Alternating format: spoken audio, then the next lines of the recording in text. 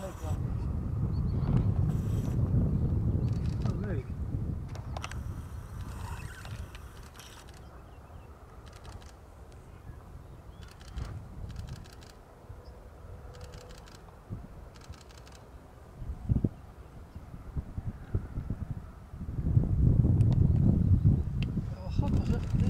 Hè, Arjan? Ja, de lepelaar die heeft